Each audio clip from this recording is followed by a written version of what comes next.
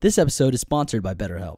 Guys, therapy has helped many of my friends and family. There is no need to feel bad or ashamed about going to therapy. Getting help is a part of the journey, and that's what BetterHelp does. Without a healthy mind, being truly happy and at peace is hard. The good news is therapy works. But what is therapy? It's whatever you want it to be. Maybe you're not feeling motivated right now, would like some tools to help you. Or maybe you're feeling insecure in relationships or at work, or you just have a lot on your plate whatever you need, it's time to stop being ashamed of normal human struggles and start feeling better because you deserve to be happy. And now you don't have to worry about finding an in person therapist near you. BetterHelp is customized online therapy that offers video, phone, and even live chat sessions with your therapist. So you don't have to see anyone on camera if you don't want to. It's much more affordable than in person therapy, and you can start communicating with your therapist in under 48 hours. Join the millions of people who are seeing what online therapy is really about. It's always a good time to invest in yourself because you are your greatest asset. Right now is a special offer to my listeners, Lay Your Brick listeners. You can get 10% off your first month of professional therapy at betterhelp.com slash lybcade. That's betterhelp.com slash lybcade. Thanks again to BetterHelp for sponsoring this episode.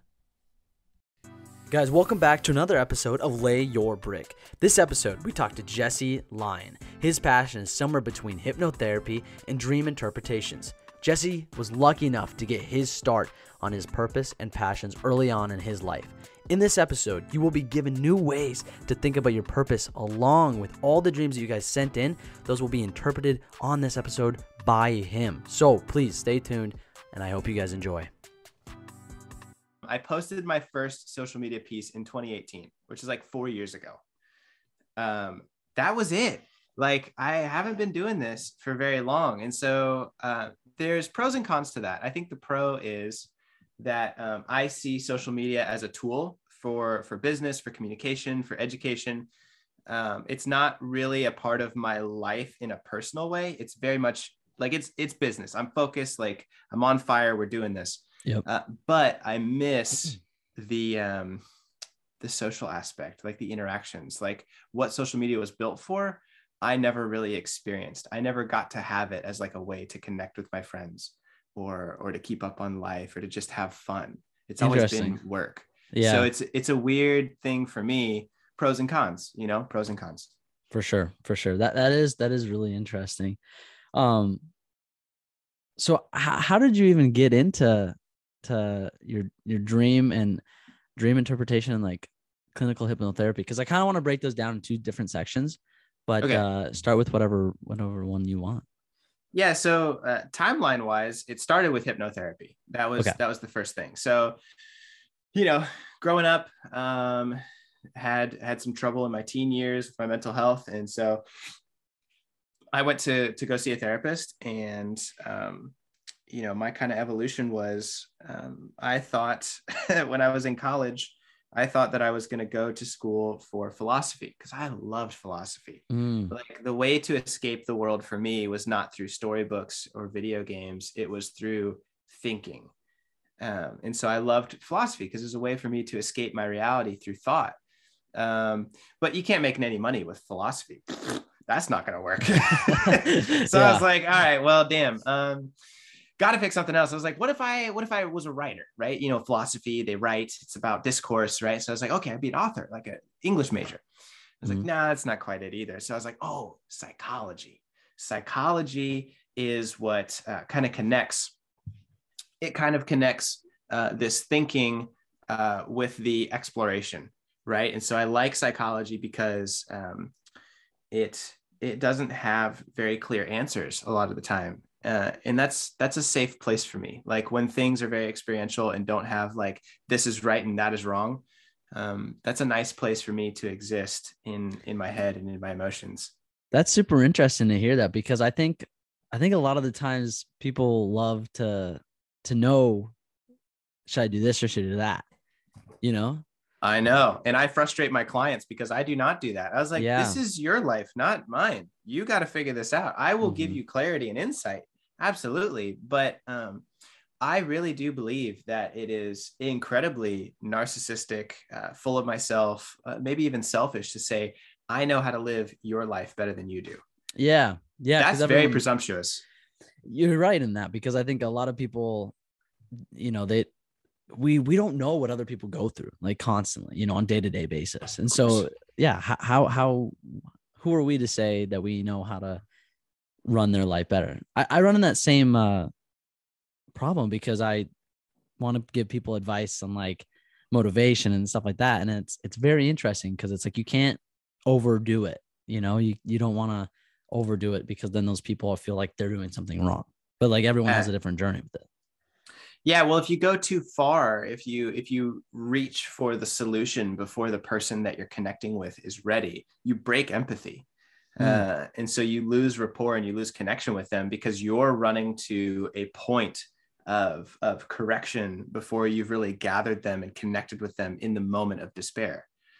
Um, and so mm. that can be kind of presumptuous. So uh, that's a safe place for me to live. I like that. I like that there's no right or wrong answers. We're going to just experience it and figure it out together.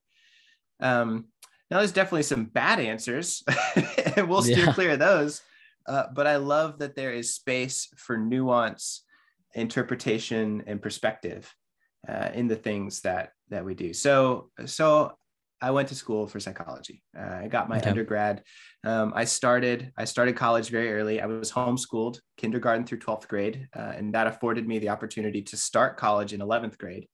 So I started college in eleventh grade. Um, I graduated with my bachelor's degree um, right at. Ooh, I would have been I would have been just turned nineteen, and I got my bachelor's degree. Um, and then I went and I knew I was like, hey, the next step is to go to your master's degree. So I went and applied for my master's degree. Uh, I'm sitting there interviewing for my master's, and they're like, you're 19. I was like, yeah, I'm 19. You have a bachelor's. I was like, yes, sir. And I'm ready for my master's. They're like, hmm, okay. And they told me later after they admitted me, they're like, Jesse, we talked long and hard about you. We almost didn't let you in, but we figured if you were dedicated enough to get the, that schooling done, at your age that you would be dedicated enough to see your master's degree through. And well, thankfully they let me in. And so it was in my master's degree that I learned about hypnotherapy. Wow. Um, for me, growing up the way that I did, um, hypnotherapy was really believed to be kind of like sorcery devil kind of work.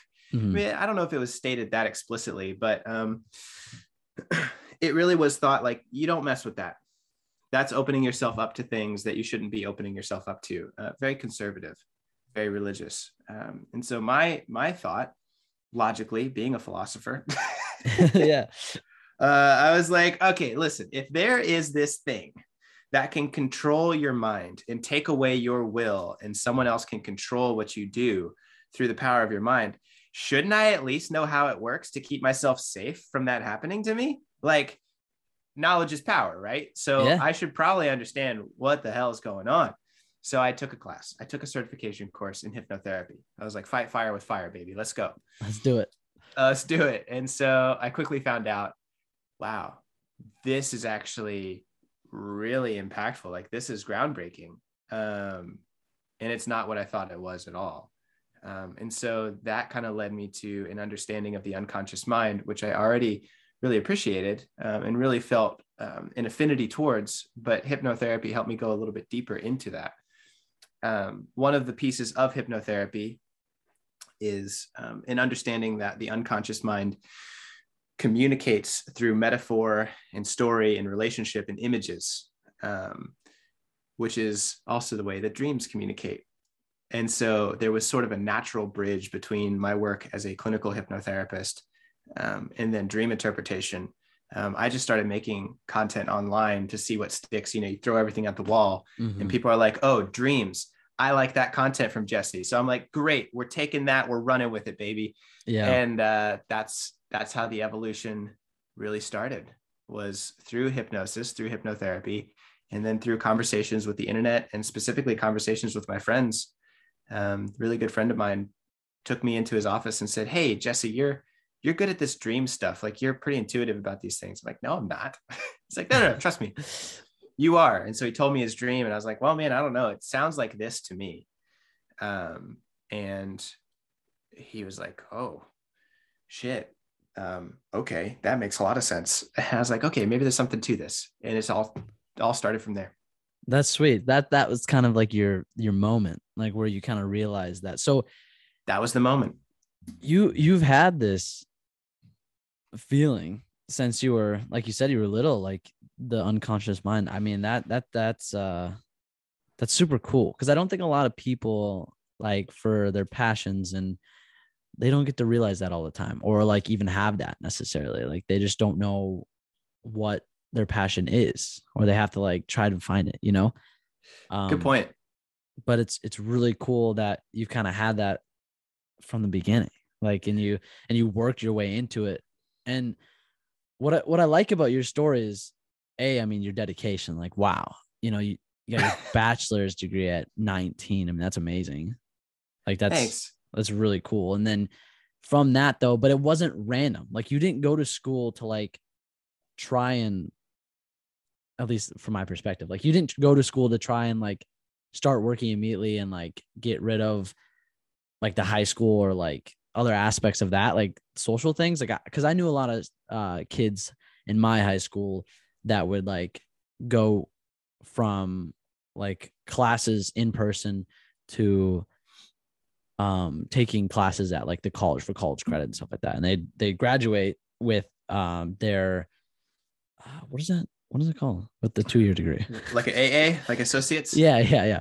Yeah um, yeah. yeah they're aa and so um that was interesting. But they did that because most of them like didn't want to be in high school anymore. Like they too grown up. But my my my point bringing this up is is that you didn't it didn't seem like you were doing that. It seemed like you were already just going for something that you were passionate about, but you wanted to figure out more of. Right. Yeah. No, I was, I'm definitely the kind of person who at 16 had a written down in my laptop 10 year plan. okay. Wow. Uh, which is, which is a little bit different. Um, but I think it makes sense for me. And, um, I want to encourage others, like maybe a part of it is my personality just as a human. Uh, but I think another part of it is, um, I think anybody can do that. The thing is, if you if you sit down and think about it and you come up with an idea and you're like this is what i need to be doing. Don't let life dissuade you from that. Uh, mm. and so for me you know i'm sitting down 16 years old. I'm like okay i've got to choose something to do with my life. People are asking me questions. What are you going to do? What are you going to go to school for? What do you want to be when you grow up? Right? And i'm like i i got to take this serious. I got to sit down and figure this out. Mm-hmm. Uh, so that's step one. Like, I don't know if a lot of people take it serious. And so taking it serious helps. So I sit down and I think to myself, I'm like, all right, I like philosophy. Let's think this through. Uh, one of my favorite philosophers is um, uh, Friedrich Nietzsche, right? I don't. The audio book that I read said Nietzsche. Some people say Nietzsche. I don't know how the hell you say it. okay. To me, it's Friedrich Nietzsche, right? So yep. my boy Friedrich, right? He says, um, and and I I, loved reading that stuff when I was in high school. But he said, um, man is driven, man, humanity, mm-hmm. man is driven by a will to power. I was like, Friedrich, that makes a lot of damn sense. I was like, okay. I was like, um, man is driven by a will to power. So, so if I'm going to find something that is important enough to me to consume my life and dedicate the rest of my existence to an idea, Mm-hmm. It needs to be something that I am just romantically enthralled with this idea of the power that it creates. And so I'm sitting here, I'm like, this makes sense to me. I was like, economists are enthralled by the power of money and finance. Engineers are eh, just mesmerized by the power of uh, like rockets and engineering and building physical things, right? You know, pastors enthralled by the power of spirituality. And I'm like, to me, what what is it, Jesse? That's just like that's powerful. I could dedicate myself to that. I was like, behind all of these things, anything that you can name, the most powerful thing that we know of currently as human beings is people. So if I can dedicate my life to the understanding of what it means to be a person and the brain and a human, that would be a life worth living. And so it was from that thought that I kind of held on to it. I'm like, nothing's going to dissuade me from this. If I can dedicate the rest of my life to understanding, amplifying, and improving the health and the, the well being of the psyche of people, that's a life worth living. And that was why, to me, it was so clear because I sat down, I took it seriously, I thought about it, and I said, this makes sense. No one's going to talk me out of it. What what age were you when you when you really did that? About uh 16, 17, like right out right there. Wow. Yeah, I don't know. I'm a weirdo, man. That's but but I love it because the thing is is this podcast is about that like the like passions like I want other people to l- learn from that you know really learn from that because you you got a gift like the fact that you you really figured that out that young I think is fantastic and and um I, I don't even have a word to describe it. But but well, um, thanks, man. I get uncomfortable with compliments, so I'm gonna hide under the desk. no, but but yeah, yeah, it's it's it's it's it's cool to me because this I love I love seeing that. Like I know that you care about this. I know that you're passionate about it. And that's what I want other people to do. I want people to find that in their lives. I want people to find that and and and really run with it like you did for sure. So would you say that you're on like the right you're on your right path right now? Yeah, no one can convince me otherwise. This is it. 100%, no doubt in my mind. I like that. I like that. I like that no one uh, can convince you otherwise. I think that's important to have that that strong will and um not being affected by other, what other people say. You know, because yeah. I think yeah. I think we do that all the time as um you know humans. Well, and I think I think where people really struggle is they connect the meaning and purpose of their life to a thing or to an outcome which mm. if you notice in the way that I phrased uh, and understood um, what what my purpose is, it's not tied to an outcome. My life is dedicated to the understanding and development of being a human, being a person in the psyche. Uh, that could look like a million different things. And so it's okay when the path changes and twists and turns and there's crashes and victories um, I didn't know that TikTok and social media was going to be my thing. No yeah. clue. Could not have told you that at 16, 17. It would have been ridiculous to tell you that at 16, 17 because TikTok didn't exist yet. Yeah. Um, what is important though is understanding what the purpose is. And you know, that's something that like uh, the existential therapists and Viktor Frankl being kind of the foremost among them and his idea of imago therapy talked about a lot human beings can endure and push through incredible things if they only have a purpose.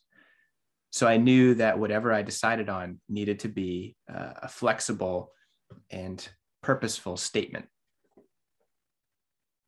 Wow.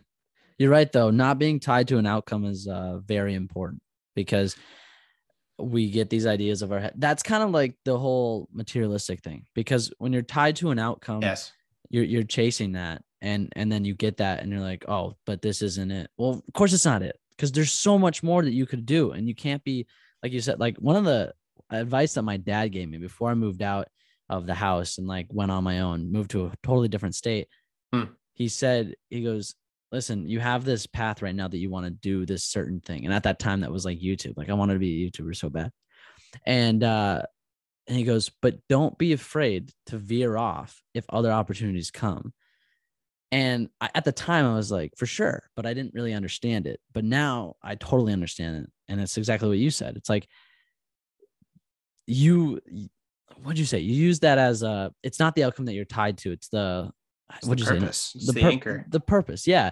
yeah. So it's like, it, you're not chasing after something. It's, you're just, you're just living it and things come to you and look at TikTok. I mean, like you said, that wasn't even around when you were, so and and you're doing it now. It, that's just, that's just amazing. So, wow.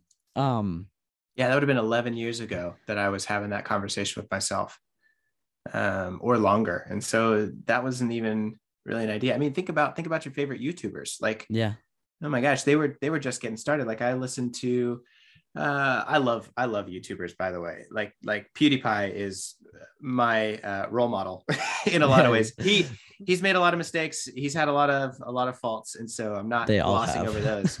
They yeah. all have. Uh, but for me, PewDiePie, the idea of PewDiePie represents something for me that is uh, very motivating and gives me a goal or, or, a concept to sort of push through. Uh, mm. In in hypnotherapy, we or even dream interpretation, we would call that an archetype to me, to me, PewDiePie is an archetype. And so think about PewDiePie. I mean, he's he started like 11 years ago. When I was 16, 17, having this thought, that's when PewDiePie was getting going. So this wasn't even like a yeah. thing. so I didn't know this. Yeah, that's amazing. So do you check? I'm wondering this then. Do you ever come up, not come up, do you ever like have roadblocks of that? Like, do you because you're so confident that you know you know what you're doing, um, like no one can change your mind. But do you run into roadblocks ever? And if so, how do you challenge those if you do? I think there's a difference between understanding meaning and purpose and then having roadblocks. There's okay. never, for me, I'm so confident about it because there's uh, never a roadblock to my meaning and purpose. My meaning and purpose is my meaning and purpose. And one of the things that's really important, and I try and talk to my clients about or to my interns about, is that meaning and purpose needs to, absolutely has to begin and end in you. Because if mm. it does not, it's weak. So that doesn't mean that it's not helpful. That doesn't mean that it's not beneficial to others. But if you think about my meaning and purpose, to to strive to improve and to understand the mental health and the psyche of humans, nobody can take that away from me. Even if I go to jail for trumped up charges that aren't real, I can still learn and understand what it means to be a human and to have experience in jail. Mm. I could I could lose my arms or my legs or have a debilitating illness. And even in that, no one can take away my curiosity about the human experience because even losing my arms is a human experience. Yeah. So no one can take that away. And I think the same thing, like let's say that you're an engineer that goes to jail on false charges. You can still build things and understand and think about things, uh, even in adverse situations. So is that an obstacle like going to jail or TikTok uh, incorrectly flagging my stuff for community guidelines violations? Absolutely, it's an obstacle to an outcome, but it's never an obstacle to my purpose. Wow. It's very different to me. And, and yeah. it's, it's important to make that differentiation, delineation between those two ideals. No, that's super important. I didn't, I never thought about it like that. And that's, that makes sense because, yeah, the only time that you'd really have roadblocks or, you know, little interruptions would be to that outcome.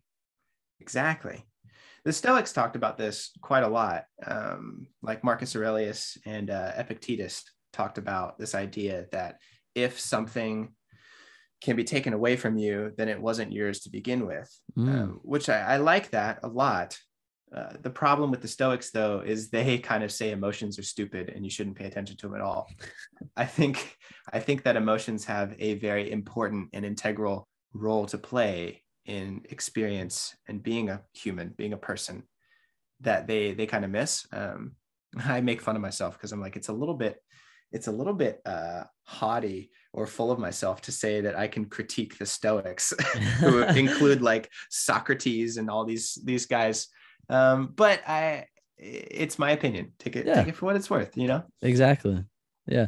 What was there anybody that you were surrounded by, like, um, you know, I don't know what your life was like back then, but were there important people to you that um kind of not necessarily pushed you, but nudged you in this direction or a certain direction, um, as far as like parents or you know guardians, whatever it was. Like, did they ever fully support you or not support you? Stuff like that. Like, did you ever have any? Yeah, I've got kind of two answers to that question actually. Um, on the one side, uh, I did my my mom pushed me very hard in school um, maybe maybe sometimes a little bit too much mm. um, and my dad was always very very supportive and pushed me very hard too um, and there's you know there's pros and cons to that but there was definitely a push of uh, moving towards excellence um, I also had some some really good friends. Not I didn't have a lot of friends. I just had a couple, um, like two really important ones, and they were always there for me uh, and their families were there for me in very difficult times when I struggled with my mental health. And then um, some mentor type people in my life. Like there was one in particular who, on on and off positives and negatives to that relationship, but they did sit me down one day and they're like, "Okay, Jesse, what's next?" I'm like, "Well, technically, it'd be my master's degree." They're like, "Great, here's my laptop." Apply for your master's degree and don't come back in the house because I was sitting by their pool. Don't come mm-hmm. back in the house till it's done. It's like, damn, okay, yeah, good point. So so yes, I did.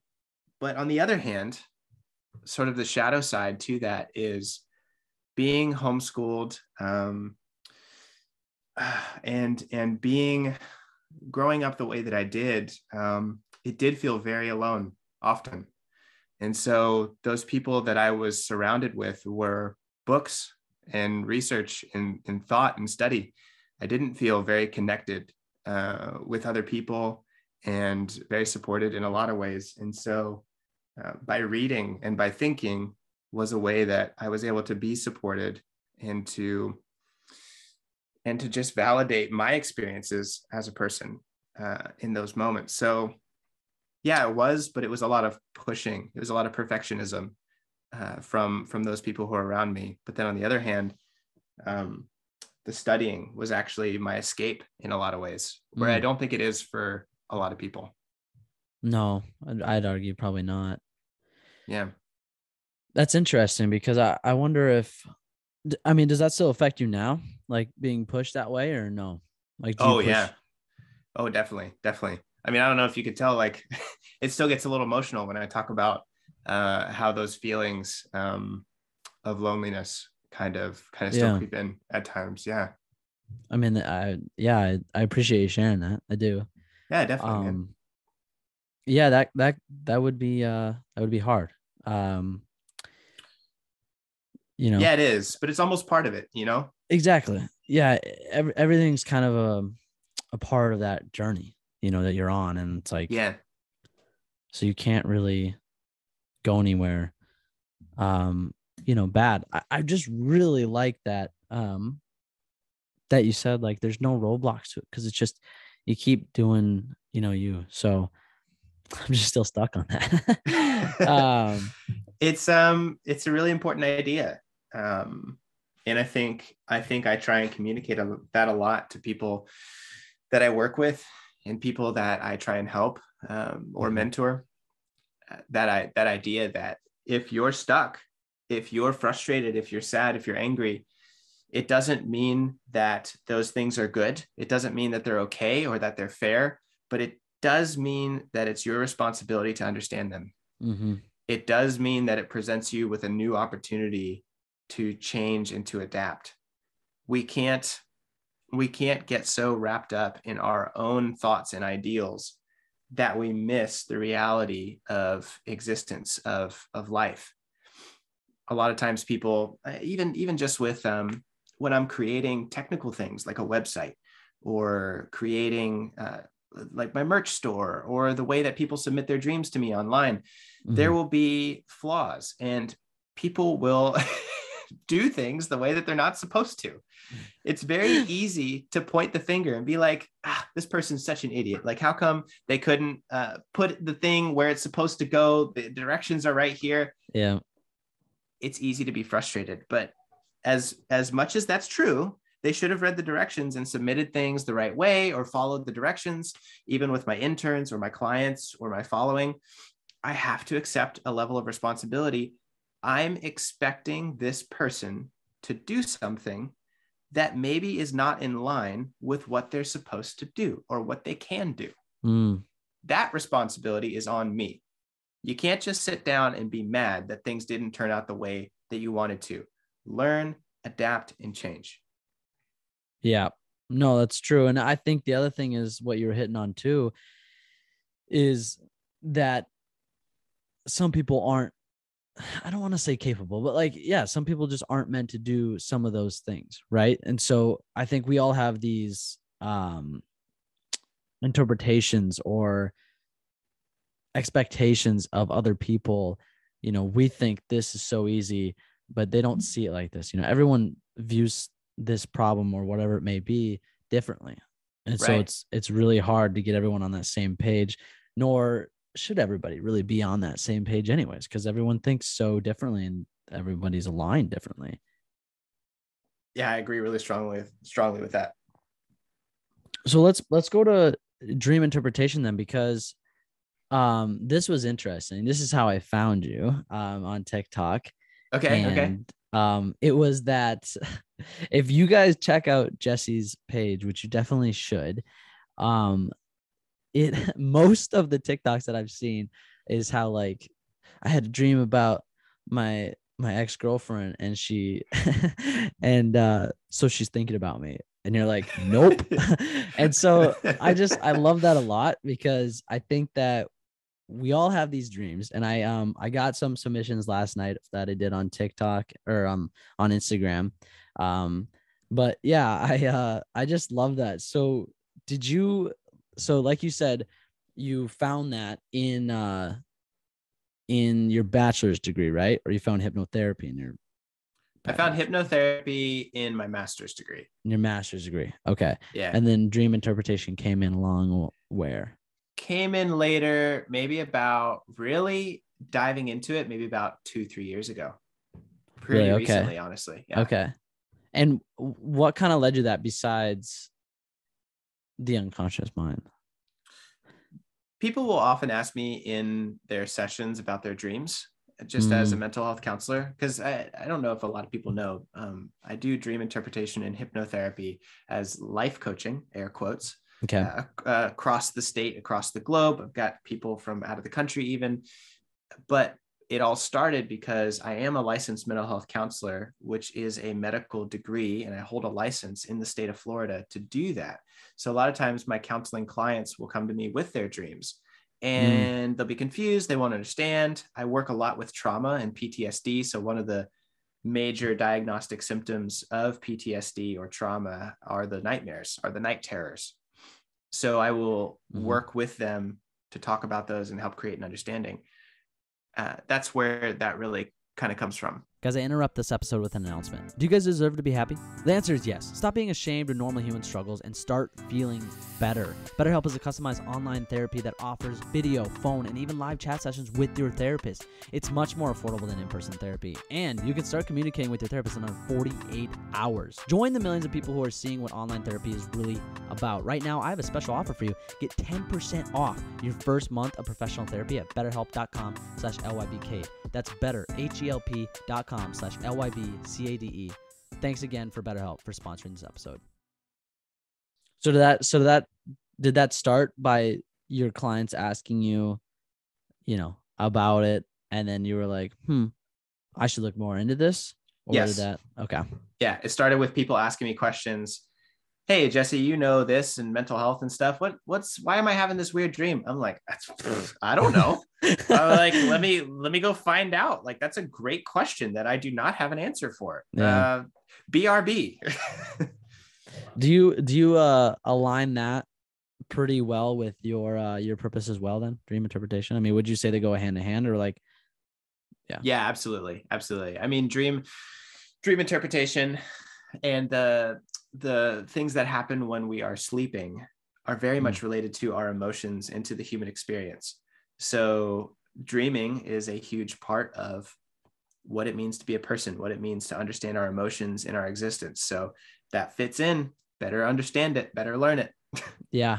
Yep. So, uh, let me ask you this then. We can kind of move there, but uh some people I I came across one of your TikToks and it said that like 90% of you you forget 90% of your dreams. Is that Yeah. Yeah, 90% of your dreams within the first 10 minutes after waking up. Wow.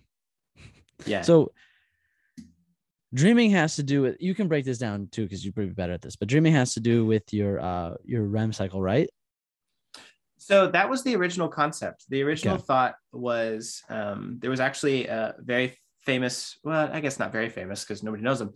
There was a very influential uh, sleep scientist who walked into his daughter's bedroom and noticed that while she was sleeping, he could observe the movements of her eyes underneath her eyelids.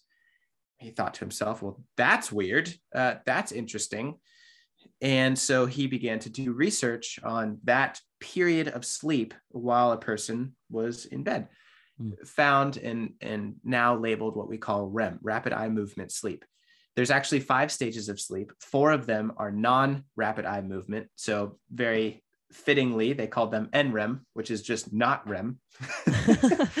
uh, real, real clever guys. So there's REM, and then there's uh, NREM one, two, three, and four.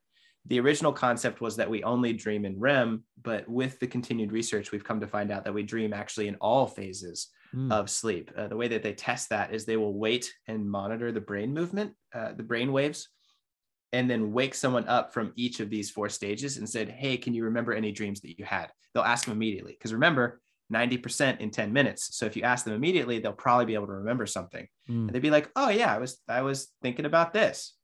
Oh, so you were dreaming in NREM 1, 2, 3, and 4. So uh, yeah, it actually happens all throughout sleep. Um, but when our conscious brain turns back on when we wake up, it kind of says, What's this garbage? and just throws it all out because it sees it as nonsense. Oh, so um, interesting. it kind of disrupts the the memory portion because again, the the prefrontal cortex is the part um, that is that is asleep when we're asleep. The prefrontal cortex is also important for tagging and categorizing information, saying this is important, commit this to long-term memory in the hippocampus. If your prefrontal cortex is asleep, it can't tag any of that information to say it's important to commit it to hippocampal memory. So that's kind of where that disruption comes. So what you have to do is you have to wake up and then you have to start writing things down. okay. And so you're you... kind of manually committing it to memory on paper. So that way your brain can say, oh, I wrote this down. This must be important. Commit this to long term memory. Because that's what I was just going to ask. I was going to ask how, so then how come sometimes we can remember? Because I know that I, I haven't written down, I don't think any, I might have before, but any of my dreams, but there's some dreams that I can remember, you know, just um randomly. Like I can like wake up and I can remember them after like the whole day. And that's interesting. But then there's also somebody that says that they don't dream often. But that's like kind of false, right? Because everyone dreams, but they just don't remember them. You just forget. Yeah. The ones that are usually remembered um, and people with a lot of nightmares or trauma will tell you like i remember my dreams every night they're terrible i hate them yeah because the dreams that are usually remembered are the ones that have the most intense emotion mm. so the real way for the unconscious mind to bypass that memory gap in that 10% that 10% that gets through the 10 minutes usually is related to very strong emotions that the brain can't ignore wow yeah. Very it's kind of kind of so intense that it it breaks through that barrier. That's insane. It really kind of is. It's it's nuts. That's really crazy.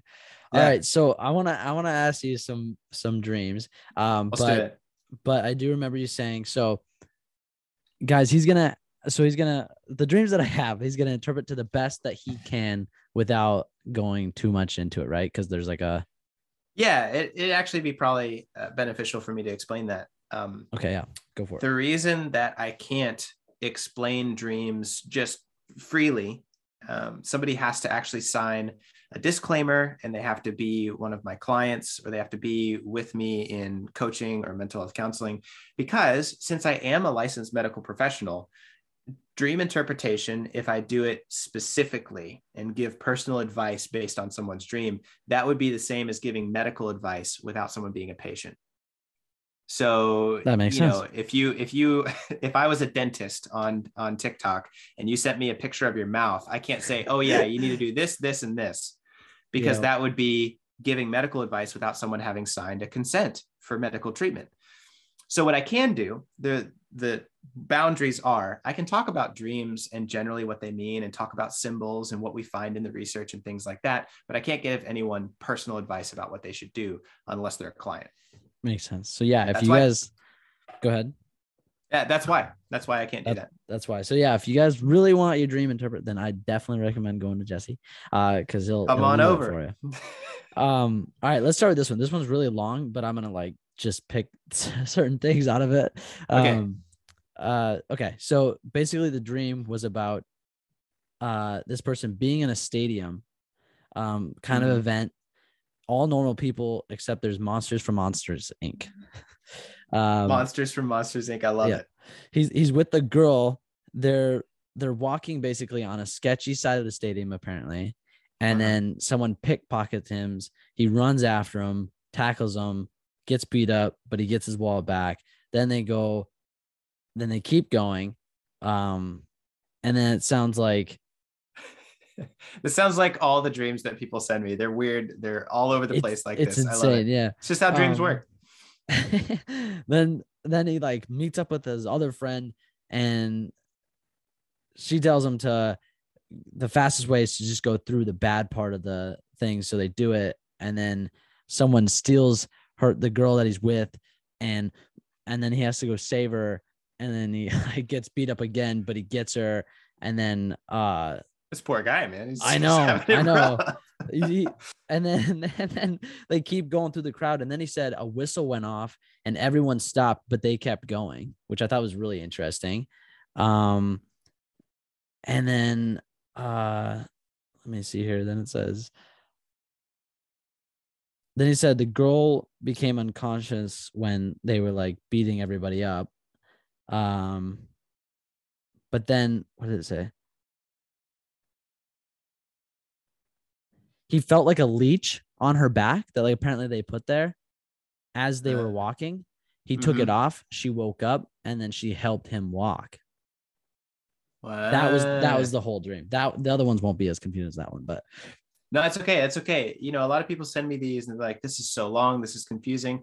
It's actually, uh, Cade. It's actually very simple, and this is probably the most surprising part. Oftentimes, what I have I have observed, and I haven't read this anywhere, that I can remember, but I have observed in working with dreams for years now, those dreams that are very long uh, will often repeat the same message over and over and over and over again. Mm. And usually, what I have observed is that it will repeat it three times. Three seems to be the magic number for the mind. I don't know why. I'm trying to understand, but I have observed this.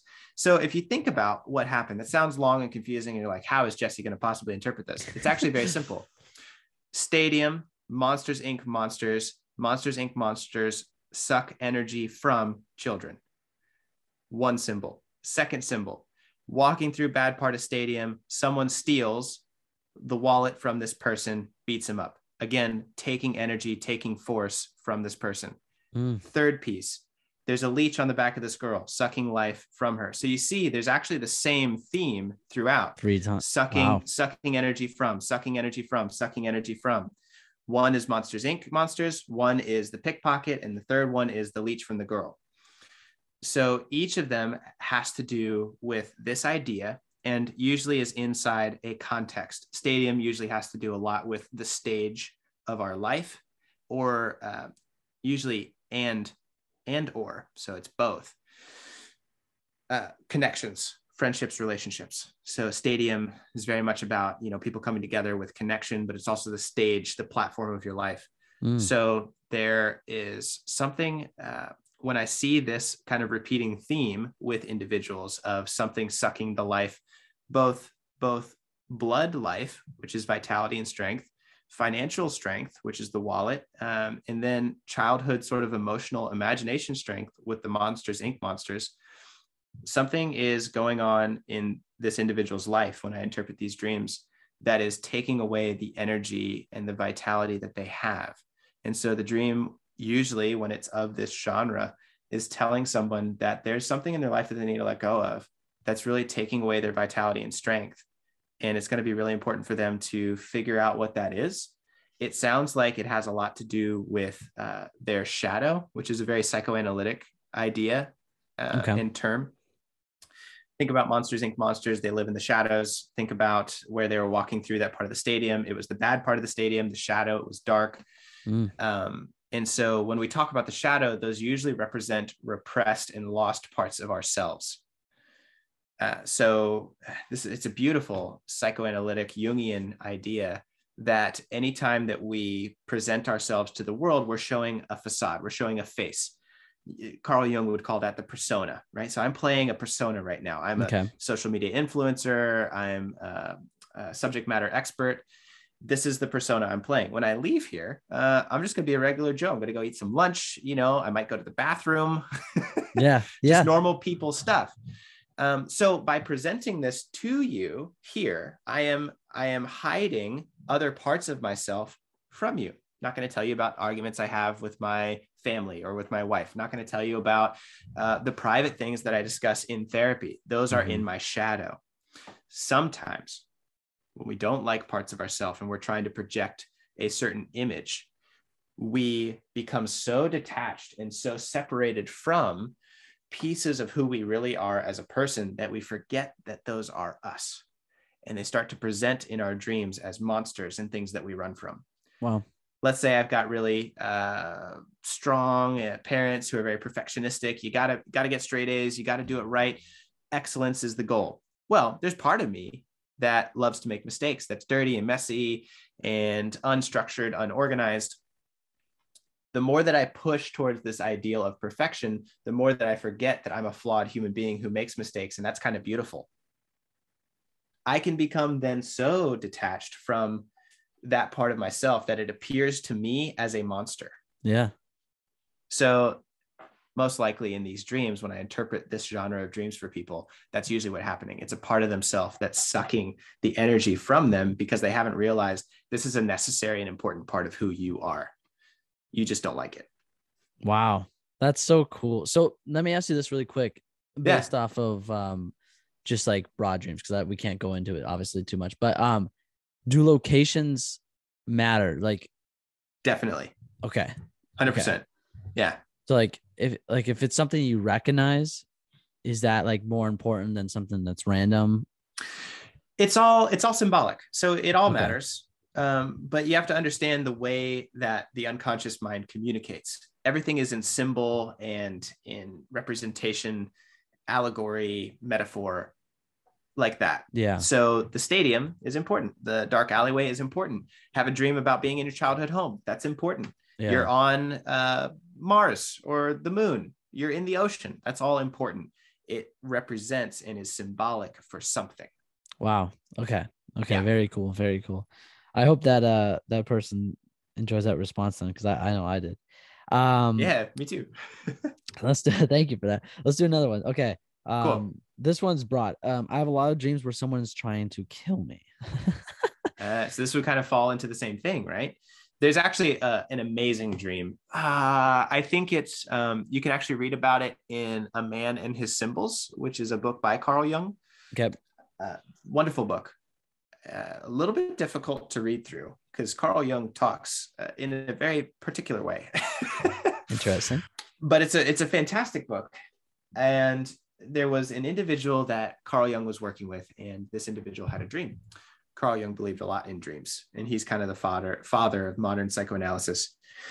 He had this patient who told him about this dream. I have a dream. It's dark. I'm driving a car and as I'm driving this car, somebody comes up behind me and starts flashing their lights and honking their horn.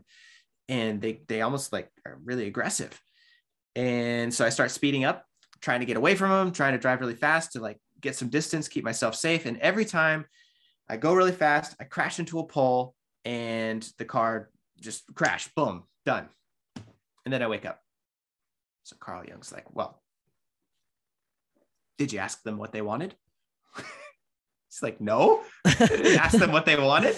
He's like, well, ask them what they want. So the next time he has the dream, he kind of set that intention of if I have this dream again, I'm going to ask them what they want.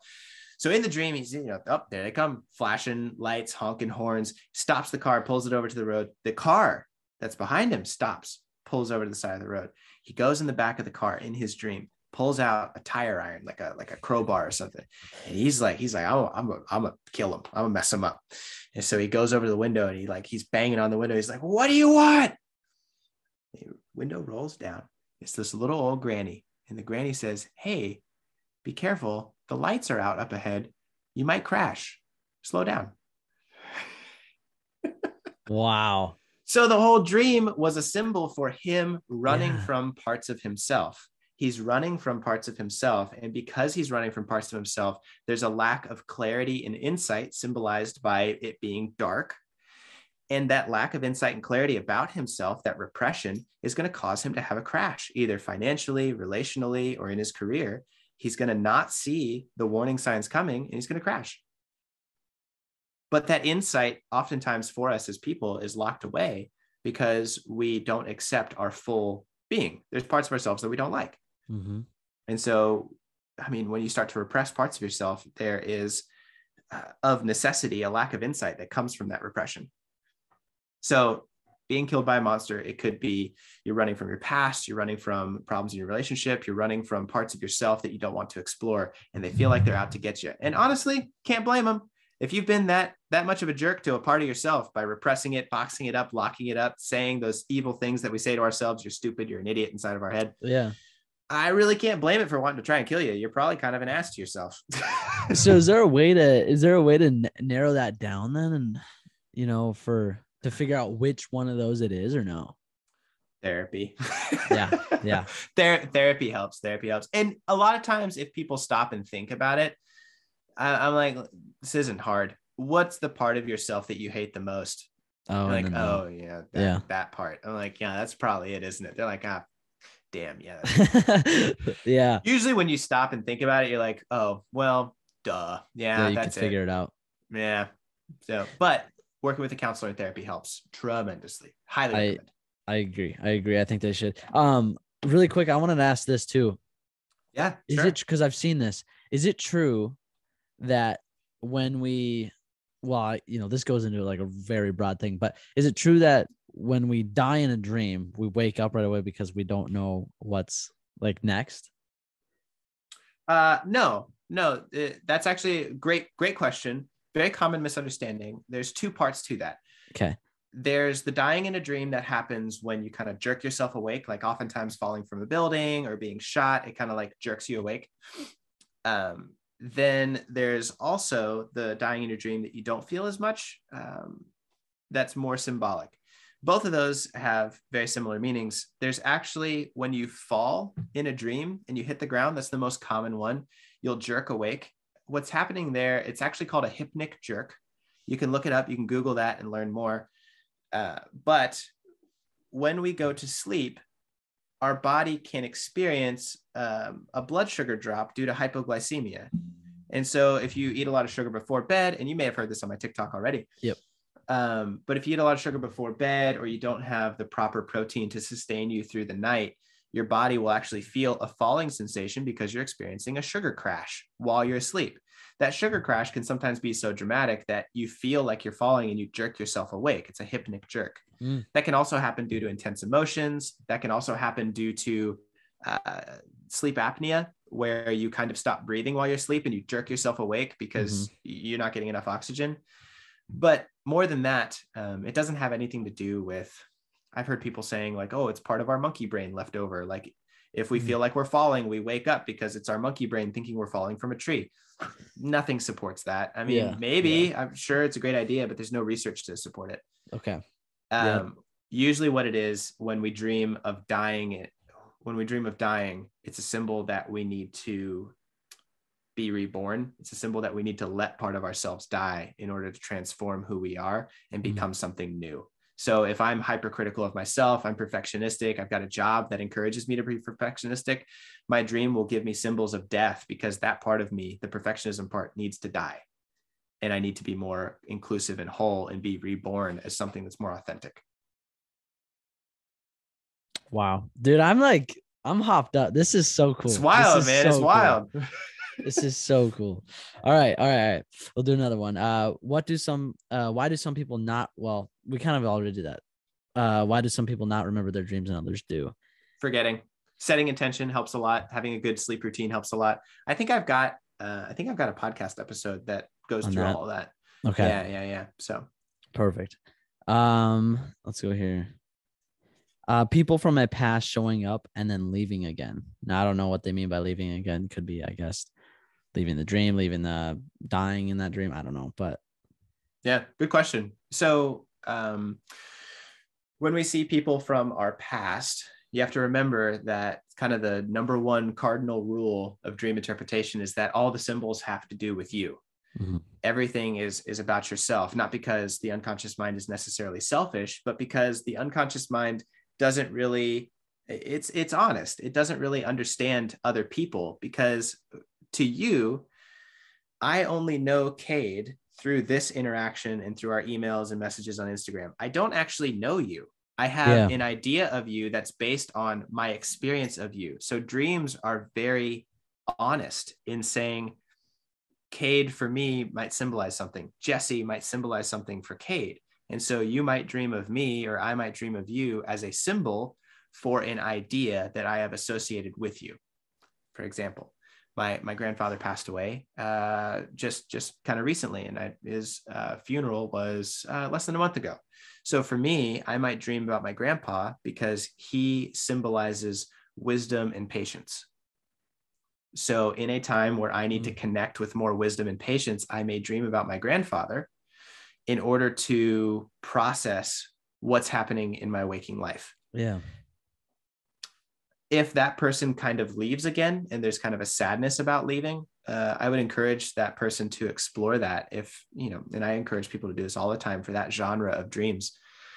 Oftentimes when we dream about being cheated on or our partner leaving us or someone leaving us it can have a lot to do with feeling worthless and low self-confidence because we don't feel like they're worth sticking around.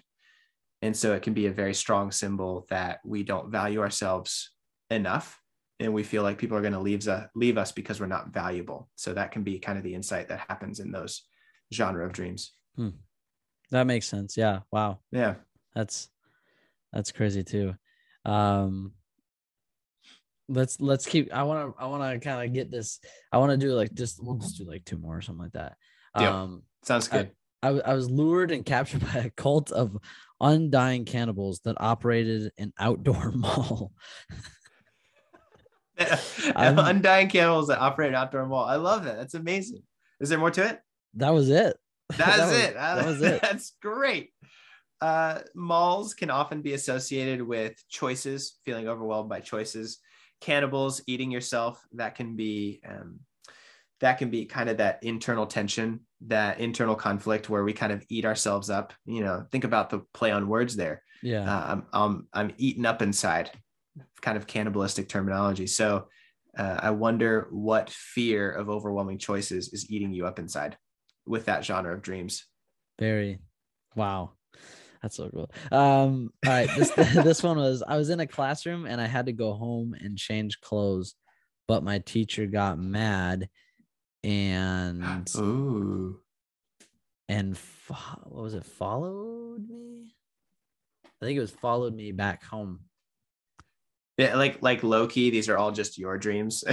yeah, yeah, right. you're like, you're like, there's no, there's nobody sent me their dreams. These are just my dreams over the past three weeks.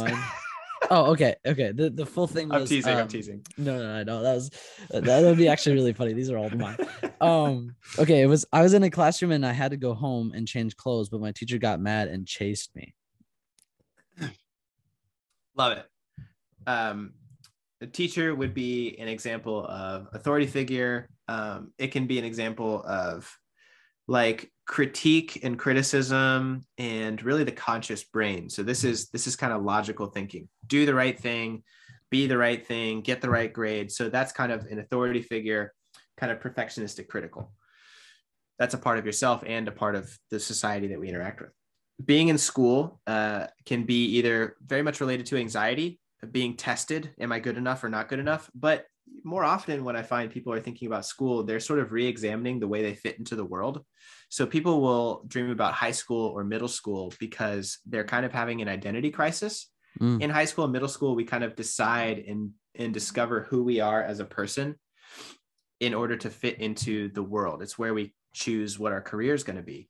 So this, you know, when a person goes back to school, they're reevaluating how they fit into the world. Am I doing the right thing with my life? And then changing clothes has a lot to do with persona. Who am I presenting myself as? Clothes um, are the costume that we wear to fit the roles that we play. So to me, school, clothes, and then the critical to put it all together has a lot to do with I'm trying to reevaluate my life and the role that I'm playing in my life, but there's a perfectionistic critical part of me that says, no, you can't change. You need to stay just the way that you are. Uh, and so that part is kind of following and chasing. That would have to be kind of confronted. So wow, those are really those are really good. Yeah, really good symbols, kind of Dang. in that genre. Yeah. Um. All right, last one. A zombie apocalypse attacked with family members dying in that situation. Hmm. Family members usually represent support system, trust, and like the internal family system. So it's it's not only our support system and trust and coping with uh, our relationships with others, but also our relationships with ourselves. Like it's kind of the internal family. uh, zombie apocalypse are one of my favorites because they really represent like uh, undead problems from the past. So, like when we have unresolved conflict in the past, they should be dead. They're in the past, but because they're kind of unresolved, they're like the living dead. They come after you, and sometimes they bite you in the ass. That's wow. That's actually yeah. That makes total sense when you say it like that. Right. Yeah. It's it's pretty wild, man. Gosh, dang. It's um, good stuff wow, we just ate up time. I mean, Jesse, I almost want to do another one with you. This was awesome. This is amazing. Thanks, man. Thanks. Uh, seeing how excited you get about it is uh, really encouraging. Thanks, Thanks for sharing that passion with me. Yeah, yeah. Um, I I have three end questions. Um, you can answer them as fast or as drawn out as you want. Um, okay. We'll go number one. Uh, what is a daily habit that has changed your life slash perspective? Um, so, oof, good, good question. Uh, the thing that pops into my head immediately, two things. I, I am kind of running out of time and I'm going to have to go here soon. Mm-hmm. So I'll answer it kind of quickly, these last three things. Okay. Um, the thing that pops in my head first is I'm just trying something new out for 2022. Uh, I don't usually do New Year's resolutions and goals, but I'm trying cold showers in the morning. Not the full thing, but like for the last 60 seconds of my yeah. shower. I turn it cold, and that's really been giving me a lot of energy. Um, so that's kind of cool. I would think on a, a more impactful level. I mean, uh, that, one's kind of that was just kind of a fun one. But on a yeah. more impactful level, a daily habit is um, never quit. And what I mean by that is if something is important, especially now that we've kind of talked about in the beginning of this episode, the difference between having goals and things as your motivation as opposed to having purpose as your motivation uh, never quit on your purpose. Uh, there are some days that you might need to take it easy. You might need to go a little bit lighter. And so even even for me i'm not used to the cold. I'm a, from florida it's pretty hot and swampy down here and i love that uh, 100% humidity and 100 degrees outside fine no worries for me so cold showers are weird. And there's some days where I am low energy. I didn't get enough sleep at night. And so I don't turn the shower as cold yeah. as I did the day before. But I don't not do it. Yeah. I always do it. So that's good advice. The one thing that is impressive to people, the one thing that will take you far is unrelenting consistency. Always do it. Make a post every day. It might be a shitty post but make a post every day. Do that thing every day. Eat a vegetable every day. You might have one bite of a carrot, but at least you ate a vegetable that day and you didn't quit on yourself. Yeah. That's a daily habit. That that's amazing. Next one, how would you consider your purpose in life right now? We talked uh, a lot uh, about that. I have I have two purpose statements. I think of myself. Um, I'm, any good company has a purpose statement in order to be successful. So I think people should have purpose statements too. Mm-hmm. I have one for social media, and one for my business, and then one for me personally. For my business, it's Lyon Counseling Acceptance Through Awareness. Mm. I'm helping people learn how to accept themselves through an awareness of themselves. For my social media brand, it is uh, Your Mind's Not Against You, it's just misunderstood.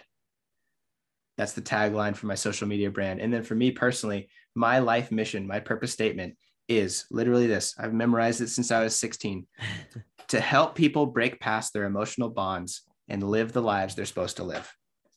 My entire life is dedicated to that one sentence. If I, I can that. do that for the rest of my life, my life will be worth living. I love that. I love that yeah. a lot. What's something you know that you wish others understood or know or knew? man, I would say I, I kind of already spoiled it, but I would say your mind's not against you; it's just misunderstood. Uh, two things uh, that I think I can elaborate on with that statement. One being your emotions, your thoughts, and your feelings are not the problem. It is your interpretation of your emotions, thoughts, and feelings that is the problem. You just don't know why you're feeling, thinking, and behaving this way. If you can understand through understanding, through knowledge comes power and adaptability and, and liberation. Honestly, I mean, knowledge is liberating, understanding is liberating. And then, second, to elaborate on that, the the main point being your mind's not against you; it's just misunderstood. The second point is uh, it is very presumptuous and unhelpful for a therapist and a person to try and take away a symptom from somebody. If you're anxious, if you're depressed, if you have flashbacks, if there's something going on, it is mean. It's mean. I'll say mean. It is mean for someone to try and take that symptom away from you. And what I mean by that, because that might be surprising, what I mean by that is that symptom serves a purpose. And it is unacceptable to try and take away that symptom until you understand why it's there and replace it with something more beneficial. If you're anxious, behind that anxiety is most likely fear. You need to build and have a system to cope with your fear to keep you safe. Wow. That's a need. You need to be safe. Your anxiety is trying to keep you safe by worrying about everything. Don't take away your anxiety until you've put in place a system to keep you safe. If you're depressed, your life, usually depression comes from a life that has no meaning. Don't try and take someone's depression away until instead you've put meaning back into their life to fill that hole. People uh, are incapable of having empty space. You need to fill the symptom with something before you relieve the symptom from the person. And that's really what I mean. I mean, there's so much depth to that one statement of your mind's not against you, it's just misunderstood. And if I could just leave people with those two things, symptoms are important, they need to be understood, and your emotions are important, they need to be understood. And it all wraps in together.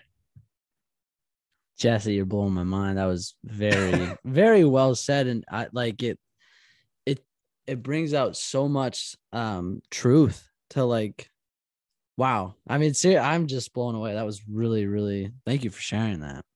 Yeah, thanks for thanks for asking and listening, man. Um, yeah having having someone who genuinely cares and genuinely listens is uh, not as common as people would think. Yeah. And, and I value it. So thank you, Cade. I appreciate it. I appreciate you, man. Thank you so much. All right. Well, I'll let you go. Uh, but thank you so much for joining. Sounds good. Sounds good. Find me online. Perfect. Yeah, yeah, yeah. Uh, take a second here. Promote, promote everything you want to promote yeah so so the big push for me uh, we just started live dream classes. Uh, so we do live dream classes every week on mondays. Uh, everything can be found at lyonmentalhealth.com l-y-o-n mentalhealth.com but even if you spell it the wrong way i bought both domain names. There you go. But nice. it's l-y-o-n mental health uh, lyon mental health. You can find me on instagram and youtube and tiktok's my big platform with 1.2 yeah. million followers. Um, but uh, yeah, join join our dream class. Send me your dream. Help support the channel. Buy the merch. Yes, get some it merch. Helps, it helps it's make nice. the dream possible. Because uh, social media doesn't pay me much of anything. It pays me nothing. Yeah. So helping make this content available and accessible to people. I appreciate everyone who watches and follows and supports the channel. It means the world that I can continue to kind of live out this mission. Yes. Please go Thanks. support and go check them out. Thank you Thanks, so Cade. Appreciate yep. you, man. Appreciate you.